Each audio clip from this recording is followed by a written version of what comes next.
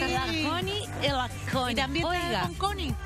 ¿Ah? También trabajé con la Connie. pues, También trabajamos trabajamos juntas. Sí, pues fuimos compañeras en Talk show.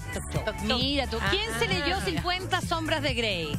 ¿Todas? Yo no, Yo tampoco. Yo sí, yo el uno y el dos. ¿Fanática? El uno, el dos, el tres, Oye, todas pusieron a Se la venta la la película. Sí, están agotadas las entradas de la preventa. es. Es. una locura total para el 14 de febrero. Se Se- viene rumorea que no tienen ni una onda las protagonistas. ¿Ah? Es el rumor, que no tienen ni una onda los Bueno, vamos a descubrirlo porque se viene el estreno de la película. Las chilenas están on fire con este protagonista que ha robado corazones. ¿Qué es lo que tiene Christian Grey que ha enamorado a las chilenas y el resto de las mujeres del mundo? Vamos a revisarlo acá. used to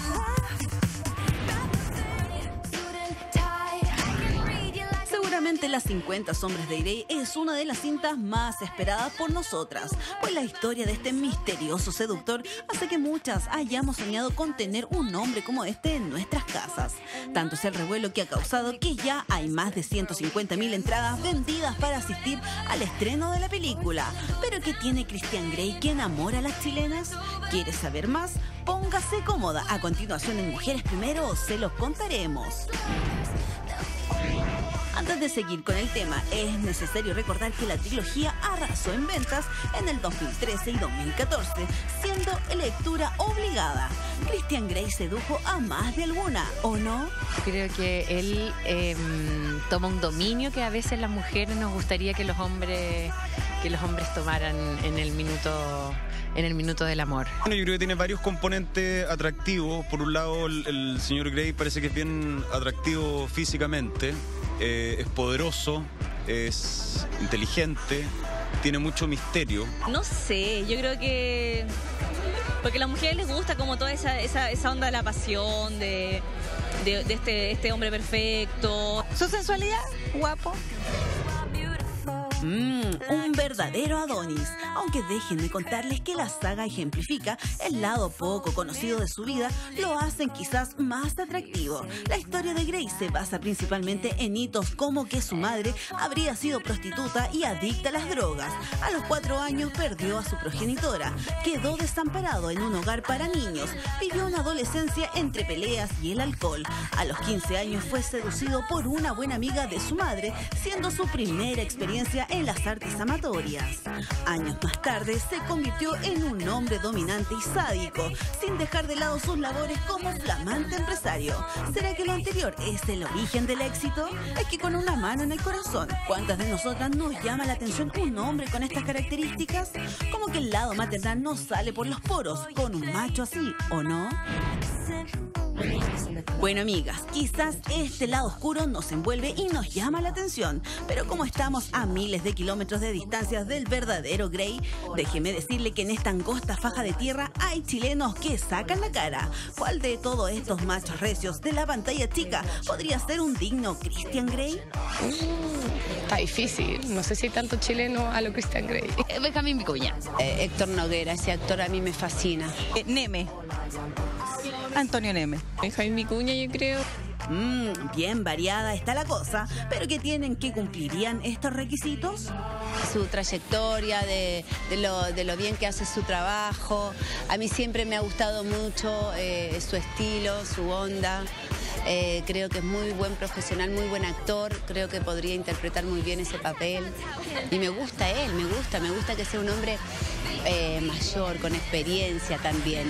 Su carita, la, carita de, de niño bueno a mí me gusta, así que me quedo con eso. Es como sexy, como que, que oculta muchas cosas y cada vez que le hablan de, de temas que tiene que ver con el amor, con la sensualidad, con las emociones, él pone caritas que me indica que debe ser muy parecido al, a Grey. Es súper mino y súper macho y todo eso.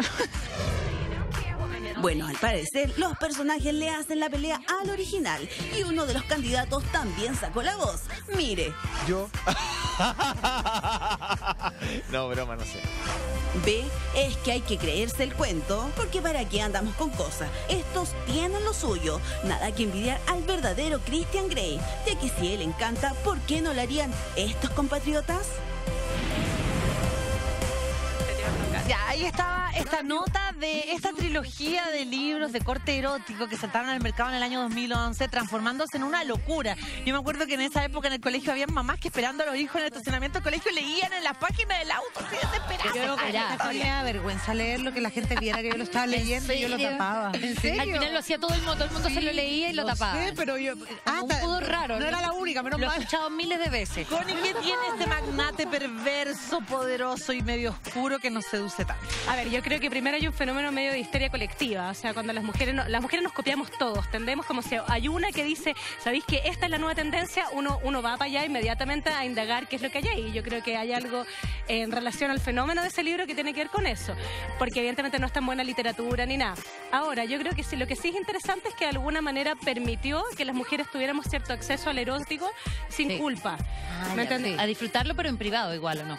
Pero no tan en privado, porque era en público. Era un libro que tú lo podías leer en la peluquería, esperando a los niños en el colegio, que las mujeres podían hablar tomándose un café sobre el libro sin ningún pudor. De alguna manera se... Estaba se de moda, entonces se le quitaba el morbo. Eh, exactamente. Se tuvo como un cierto velo este libro que de alguna manera permitió que se transformara en el porno para mamis. Así es el género como lo, así lo describieron.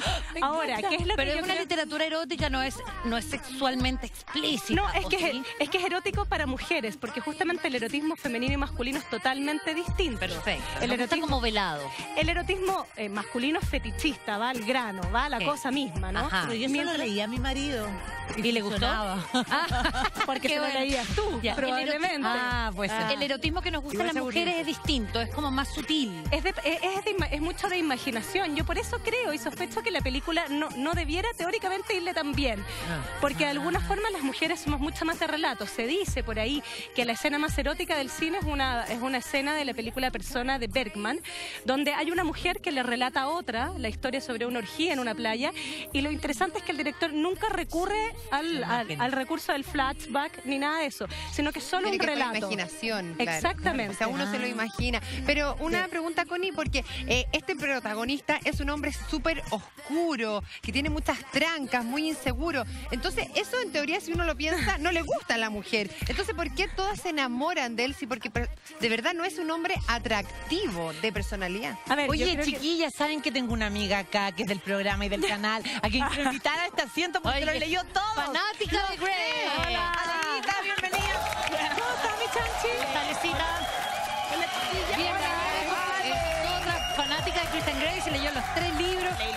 ¿Viste? Y nos comentaba, ajá, tú te estabas Eso, preguntando que, algo. que la- personalidad no es atractiva, porque, Ale, tú te lo leíste, ¿no es cierto? Que es un hombre oscuro, que tiene muchas inseguridades, que es muy obsesionado, obsesivo con ella, eso gusta muy manipulador, pero finalmente no es lo que uno dice, es un hombre atractivo, a mi parecer. No es que, lo que pasa es que la, No lo va a salvar. el- el- lo que pasa es que el deseo humano es una cosa muy loca, digamos. No es, no es, no es directo, no es así como, ay, me quiero comprar eso y ese es mi deseo y, y voy a satisfacer mi deseo en eso. No, es más enredado. Hay algo un poco más como que en el fondo como que las mujeres también tenemos esa fantasía permanente y no tengo idea por qué existe de que vamos a cambiar a los hombres. Exacto. Es más Porque- adolescente, Estamos porque problemas yo ya no quiero cambiar Aló, nadie. aló, probando, uno, dos, tres.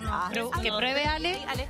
Escuchamos a Ale. que ¿sí por ahí va las ganas de Sí, querer cambiarlo, de mejorarlo. No se escucha la Ale, Le pero habla- hablabas de esa fantasía. Ale. Sí, es que yo hablo como que de, de- las mujeres tenemos esa fantasía de cambiar al hombre. Ya, bueno, ¿no? Como que en algún voy. momento los vamos, los vamos a transformar en un hombre bueno, de, Y que se quede malo, contigo. el oscuro que tú decías, se va a transformar en el Se bueno. trata de eso mientras arreglamos Sí, el problema. Es que justamente eso es lo que decía, el deseo humano es muy raro, digamos. Uno cree que quiere ciertas cosas y uno puede decir, no, yo quiero un hombre bueno, que me cuide, bla, bla, bla, bla, bla. Pero el deseo es bastante más enredado. Generalmente uno desea no las cosas que uno cree conscientemente que quiere. Entonces, ¿qué pasa? Estas, estas fórmulas no tienen nada que ver con el amor, sino que tienen que ver con una cosa más narcisista. Es decir, yo quiero ser esa mujer que cambia a ese hombre. Claro. Ese hombre que ninguna otra pudo cambiar antes. Bueno, yo sí, porque yo, en el fondo, se trata de la competencia con otras mujeres. Ah, Entonces- desafío. Ay, Yo no la de más de joven, porque eh, por lo menos Uno va yo no- aprendiendo, ya no querría un cachito de ninguna forma. pero este poder que él tiene, eso, porque el otro día decían a alguien que era demasiado seductor este hombre que llega en el helicóptero, como ¿Pero que qué te parece? Esa cosa como media No, yo creo que, yo creo que eso está, yo creo que que eso está medio pasado de moda. Podría ser hasta chulo, digamos, alguien que uno reconociera así, que era el hombre del helicóptero. Es como hoy día, no, las mujeres están un poco en otra. Yo, ¿Sabéis que uno podría decir, yo quiero mi helicóptero. Pero en el Ah, fondo yo creo que Christian Grey lo que representa es lo que siempre hablo, eh, es lo fálico, que significa la potencia. Y uno siempre busca a alguien a quien admirar, a alguien que tú supongas que está sobre ti. El problema está, y por eso Christian Grey y la, la- este libro Las 50 sombras no es nada muy distinto a la telenovela Cebolla de los años 80. Es lo mismo, pero con un telón de fondo más moderno. ¿En qué sentido? Es la mujer que se inferioriza, que podía ser antiguamente la nana con el patrón en la teleserie ochentera, y que seduce a este hombre con más dinero, con otro estatus. Casi casi que te va a No, entregar y lo que tú y lo no puedes aspirar. Porque él tiene algo que Pero tú no también- tienes. no, Así pero- funciona el deseo, uno quiere él lo que sí, no pues. tiene. Él tiene algo que tú- ella no tiene, pero ella tiene algo que él no tiene, que es control de sus sentimientos. Es y- que esa es la fantasía femenina. Exacto, que ella en el fondo, ella en el fondo lo que le entrega Y la ingenuidad, recuérdense que él se enamora de que ella es virgen, que ella es santita, que ella es una chica dulce aún. Yo creo que eso es malo que la trae. Ella no conquistó Cada vez que entra porque más en fue el como lo me cargan más esos roles. Sí, Pero, ¿sabes pero cómo me vendieron a mí el libro? Ver. Ahora, el verano pasado me dijeron, Janine, te tienes que leer este libro que están... Todas las cuicas de Zapallar están leyendo ese ¿Qué? libro. Así que- Y yo, "Ah, dime algo más motivador. Chao.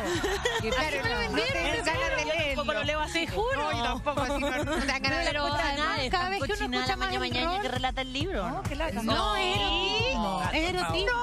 Sí, todo el rato, por favor. Yo encontraba que lo entretenido era esto, mira, era subirse al metro y ver a una señora cualquiera que, no sé, tú te imagináis que ella atendía a público en una En el banco, ya, sé, ya, y estaba sentada así, ¿ah? ¿Tapando el libro? No, no, como, Ah, como que con se dignidad, empezaron que no decía permitir esto como de salir para adelante. Perdieron el pudor, que generalmente la, la mujer chilena como que tiene mucho, y como que era como... Pero Ale, en serio, tú lo encontraste. Ya como riéndose sola en el metro. Pero lo encontraste tan Y de- cochi, así, no como dice la Jenny. ¿De verdad? es Pero, pero hay de todo, porque la May Que nos mejor en los contaba... próximos capítulos viene más cochino. La May nos No, no contaba que fácil leía el libro, que se lo leía tapándolo porque le daba como vergüenza. vergüenza Me da que la gente pensar, mira, esta se está como... Esta, No, me da... Oye, ¿por qué. A propósito, yo creo que a propósito de lo cochinón, uno eh, en general, lo- los llamados neuróticos, que seríamos como los normales, siempre tenemos la fantasía de estar con un cochinón, así como, ¿cómo sería meterse como con el perverso, Sí, cochinón, fetichista? Pero, ¿qué ocurre? Generalmente, si uno está con un cochinón, con un perverso llamado, digamos, que tiene prácticas como alternativas sexualmente, más que miedo, ¿sabéis lo que pasa? Un poco lo que decía tú, Connie, que es como que se queda pegado, que te das cuenta que es siempre lo mismo. Que siempre lo mismo. O al Entonces, revés, que quiere claro, más. pues, no, no. Que se- quiera ver- que no, cada vez quiera ver más. No, porque el fetichismo es siempre lo mismo. Ah, ya, pero un Ah. conchinón Así así como perverso que hoy quiera que, yo que sé, que estés vestida de una manera particular, pero después quiera que te lances de ni sé dónde, que después quiera que Pero fíjate, que, no, pero fíjate que no, tiene un límite. Y es ahí donde uno dice, ah, esta cuestión no era para tanto. Claro, y uno el libro pasa un poco eso, Eso. que la primera vez uno empieza así como, ¡ah! como que te empiezan a pasar cosas cuando uno lo está leyendo, como que uno ya, pues al marido vente de la oficina rápido, pero después ya a la sexta vez que saca la fusta, que Claro. la- en el fondo como que ella va Así, perdiendo pierde, gracia. claro. Y pasa, yo, yo Oiga, mi después quise querida. seguir como el ritmo de los libros eróticos, la verdad, y me puse a leer otro libro y dije, esto es lo mismo con lo Bueno, mismo. conversaremos de este tema. Las expectativas del libro están más que cubiertas. La gente, a la inmensa mayoría le encantó. Hay que ver qué pasa con la película. Sí, claro. Si cubre las expectativas o no, estaremos conversando contigo un poco más adelante. Mi querida Connie Michelson, te despedimos con un fuerte aplauso. Gracias. Esperamos.